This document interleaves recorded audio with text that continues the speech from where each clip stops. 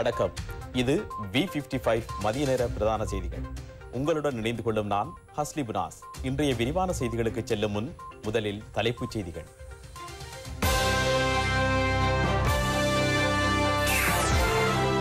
இன மற்றும் மத முருகலுக்கு அரசாங்கம் ஒருபோதும் இடமளிக்காதென்கிறார் அமைச்சர் பந்துல. முக சூறாவளியின் தாக்கம் நாட்டிலிருந்து நீங்கியது. இருபத்தையாயிரம் மெட்ரிக் டன் யூரியாவை இறக்குமதி செய்ய அமைச்சரவை அனுமதி. மின் கட்டணத்தை குறைக்கும் யோசனை பொது பயன்பாட்டு ஆணைக்குழுவிடம். நியூசிலாந்தில் நான்கு மாடி கட்டிடத்தில் தீ ஆறு பேர் பலி.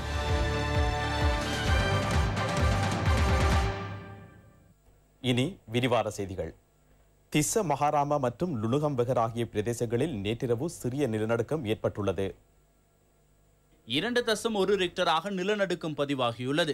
நேற்றிரவு பத்து பதினைந்து மணியளவில் இந்த நிலநடுக்கம் ஏற்பட்டதாக புவி சரிதவியல் மற்றும் சுரங்க பணியகம் குறிப்பிட்டுள்ளது. இனம் மற்றும் மதங்களுக்கு இடையில் முருகலை ஏற்படுத்த சில குழுக்கள் மேற்கொள்ளும் முயற்சிகளுக்கு அரசாங்கம் ஒருபோதும் இடமளிக்காதென அமைச்சர் பந்துல குணவர்த்தன தெரிவித்துள்ளார். இனங்களுக்கிடையில் முரண்பாட்டை ஏற்படுத்த சில தரப்பினர் மீண்டும் முயற்சிக்கின்றனர். பல்வேறு மத குழுக்களுக்கிடையில் பிரச்சனைகளை ஏற்படுத்தவும் திட்டமிடுகின்றனர். இதற்கு சமூக ஊடகங்கள் உட்பட வேறு வழிகளையும் அவர்கள் பயன்படுத்துகின்றனர். இது தொடர்பில் அரசாங்கத்திற்கு தகவல் கிடைத்துள்ளது. இதனால் மக்களின் அடிப்படை உரிமைகளை பாதுகாப்பதற்கும் நாட்டின் பாதுகாப்பை உறுதிப்படுத்துவதற்கும் அரசாங்கம் என்ற அடிப்படையில் தேவையான நடவடிக்கைகளை எடுக்குமாறு ஜனாதிபதி அமைச்சரவைக்கு அறிவித்துள்ளார். බණ්ඩයට ජනාධිපතිතුමා විසින් දැනුම් දුන්නා. இந்நிலையில் ஊடகவியலாளர் ஒருவர் எழுப்பிய கேள்விக்கு பதில் வழங்கிய அமைச்சர் பந்துல குணவர்த்தன தேசிய பாதுகாப்பை உறுதிப்படுத்துவதற்கு கிடைக்கப்பெறும் புலனாய்வு தகவல்களுக்கு அமைய நடவடிக்கைகளை எடுப்பது அரசாங்கத்தின் பொறுப்பென குறிப்பிட்டார். புலனாய்வு பிரிவுக்கு கிடைக்கப்பெறும் தகவல்களுக்கு அமைய உரிய நடவடிக்கைகளை எடுக்குமாறு பாதுகாப்பு அமைச்சர் என்ற அடிப்படையில் ஜனாதிபதி ஆலோசனைகளை வழங்கியுள்ளார். வரலாற்றில் இடம்பெற்ற சம்பவங்களின் ஊடாக நாம் பாடங்களை கற்க வேண்டும். உயிர்த்த ஞாயிறு தாக்குதல் குறித்து புலனாய்வு தகவல் கிடைத்திருந்தும் அதனை தடுக்க தவறு தவறியதால் பாரிய உயிரிழப்புகள் ஏற்பட்டன. பொருளாதார ரீதியாகவும் நாடு சரிவை சந்தித்தது. இதனால் நாட்டின் பாதுகாப்பை உறுதிப்படுத்துவதற்கு நடவடிக்கைகளை எடுக்க வேண்டியது அரசாங்கத்தின் கடமையாகும். அதனை அரசாங்கம் சரிவர நிறைவேற்றும். வெளிநாட்டில் தொழில் புரியும் இளைஞர்களுக்கு இலத்திரனியல் வாகனங்களை இறக்குமதி செய்வதற்கான அனுமதி பத்திரத்தை வழங்கும் கால எல்லை நீடிக்கப்பட்டுள்ளது. வெளிநாடுகளில் பணிபுரியும் இளைஞர்களுக்கு இலத்திரனியல் வாகனங்களை இறக்குமதி செய்வதற்கு அனுமதி வழங்கும் செயல்முறைகளின் கால எல்லையை நீடிக்க தீர்மானிக்கப்பட்டுள்ளது. இதன் மூலம் வெளிநாட்டு வேலைவாய்ப்பு பணியகத்தினூடாக வெளிநாடுகளுக்கு சென்றுள்ள இலங்கையர்களுக்கு வரப்பிரசாதம் கிடைக்கும்.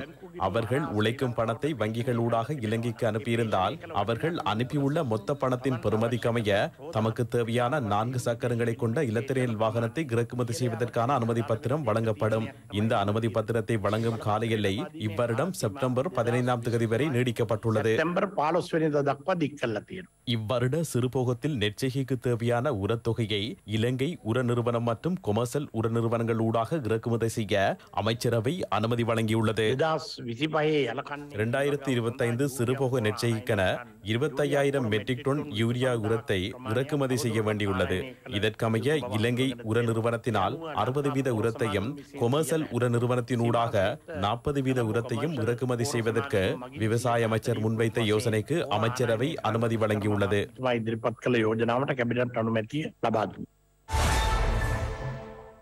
இதேவேளை அரச முயற்சியாண்மை மறுசீரமைப்பு பிரிவை ஸ்தாபிப்பதற்கு அமைச்சரவை அனுமதி வழங்கியுள்ளது. அரச முயற்சியாண்மை மறுசீரமைப்புக்கு தேவையான வழிகாட்டல்களை வழங்கும் வகையில் பிரத்யேக பிரிவொன்றை ஸ்தாபிப்பது குறித்து யோசனை முன்வைக்கப்பட்டது. இந்த கொள்கைக்கு அமைய மறுசீரமைப்புக்கான நடவடிக்கைகளை எடுப்பதற்கு அமைச்சரவை அனுமதி வழங்கியுள்ளது. வருடாந்தம் கைத்தொழில் கண்காட்சி வாரத்தை அமுல்படுத்த திட்டமிடப்பட்டுள்ளது. இதன் ஆரம்பகட்ட நடவடிக்கையாக எதிர்வரும் இருபத்தி இரண்டாம் தேதியிலிருந்து இருபத்தைந்தாம் தேதி வரை குறித்த வாரத்தை அமல்படுத்த தீர்மானிக்கப்பட்டுள்ளது. தேசிய கைத்தொழில் மேம்பாட்டை ஊக்கப்படுத்தல் மற்றும் கட்டியெழுப்புவதுடன் வெளிநாட்டு முதலீட்டாளர்களை கவரும் வகையில் இந்த திட்டம் முன்னெடுக்கப்பட உள்ளது.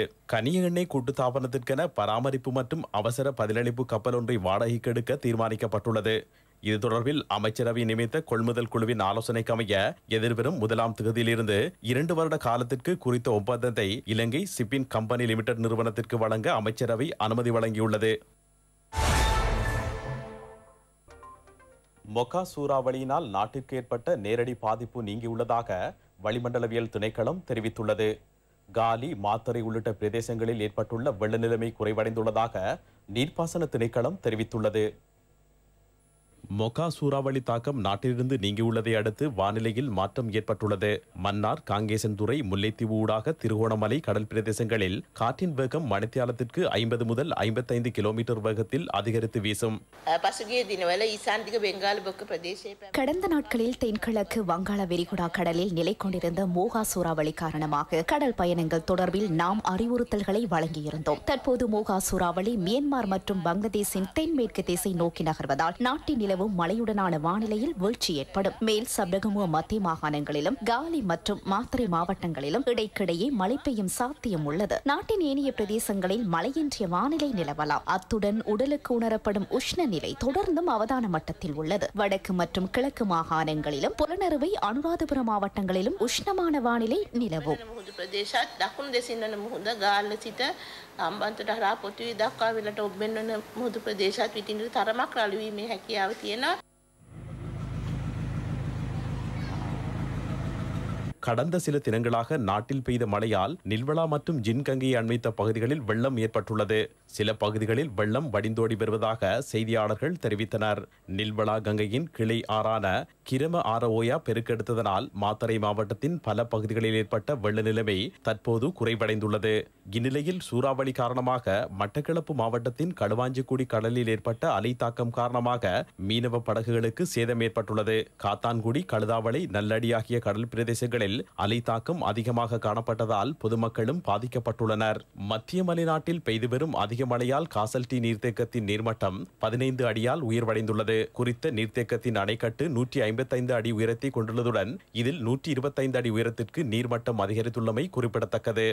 வெள்ள நிலைமை படிப்படியாக குறைவடைந்தாலும் ஆறுகள் மற்றும் மலை பிரதேசங்களை அண்மித்ததாக இருக்கும் மக்கள் அவதானத்துடன் இருக்குமாறு அறிவுறுத்தப்பட்டுள்ளது.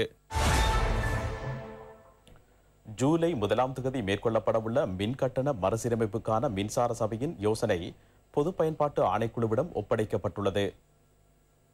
ஒவ்வொரு வருடமும் ஜனவரி முதலாம் தேதி மற்றும் ஜூலை முதலாம் தேதி ஆகிய இரு தினங்களில் மின் கட்டண மறுசீரமைப்புக்கு அரசாங்கம் கொள்கை ரீதியிலான தீர்மானத்தை எடுத்துள்ளது. குறித்த தீர்மானம் மற்றும் தீர்வை வரியை பூர்த்தி செய்வதற்கான தேவைக்கமைய மின்சார சபை முன்வைத்த யோசனை இவ்வாறு பொது பயன்பாட்டு ஆணைக்குழுவிடம் கையளிக்கப்பட்டுள்ளதாக அமைச்சர் கஞ்சன விஜயசேகர தனது டுவிட்டர் பக்கத்தில் தெரிவித்துள்ளார். குறைந்தளவில் மின்சாரத்தை பயன்படுத்தும் நுகர்வோருக்கு நிவாரணத்தை பெற்றுக் கொடுப்பதே இந்த மறுசீரமைப்பின் நோக்கமாகும்.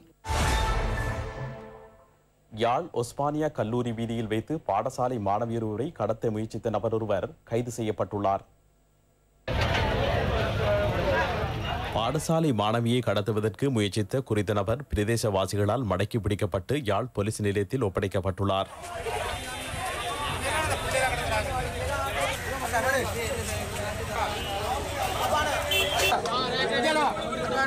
கடந்த சில தினங்களுக்கு முன்னர் மன்னார் மற்றும் கிளிநொச்சி மாவட்டங்களில் பாடசாலை மாணவர்களை கடத்தும் முயற்சிகள் இடம்பெற்றிருந்தன. இந்நிலையில் இன்று காலை யாழ் பிரதேச செயலாளர் பிரிவுக்குட்பட்ட உஸ்மானியா கல்லூரி வீதியில் வைத்து பாடசாலை மாணவியர் ஒருவரை கடத்த முயற்சித்த ஒருவர் அங்கிருந்த பொதுமக்களால் மடக்கி பிடிக்கப்பட்டு போலீசாரிடம் ஒப்படைக்கப்பட்டுள்ளார். சம்பவம் தொடர்பில் யாழ் போலீசார் மேலதிக விசாரணைகளை முன்னெடுத்துள்ளனர்.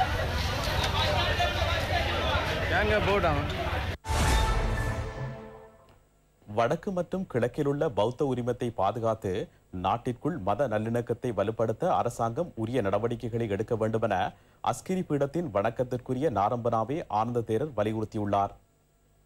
மேதகாலே அண்மையில் வடக்கு மற்றும் கிழக்கு பிரதேசங்களில் உள்ள தொல்பொருள் முக்கியத்துவம் வாய்ந்த பகுதிகள் மற்றும் பௌத்த மத புனித ஸ்தலங்களுக்கு எதிர்ப்புகள் ஏற்பட்டுள்ளன.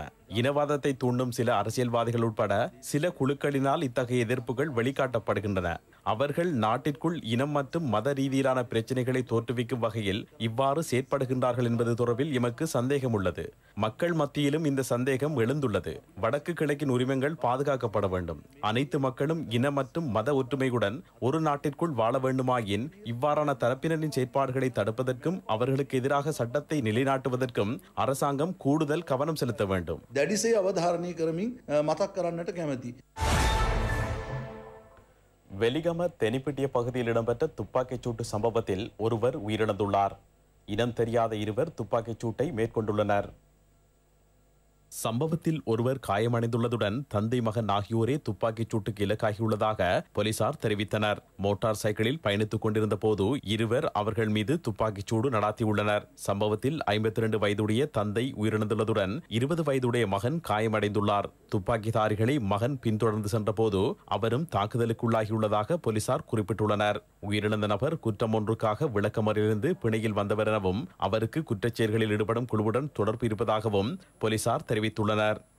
திட்டமிட்ட குற்றச்செயல்களில் ஈடுபடும் குழுவின் தலைவரான ஹந்தயா எனப்படும் தனுஜ சம்பத் என்பவரின் சகா ஒருவர் ஐஸ் போதைப்பொருளுடன் கைது செய்யப்பட்டுள்ளார். மீகோட பிரதேசத்தில் வைத்து போலீஸ் விசேட அதிரடிப்படையினர் அவரை கைது செய்துள்ளனர்.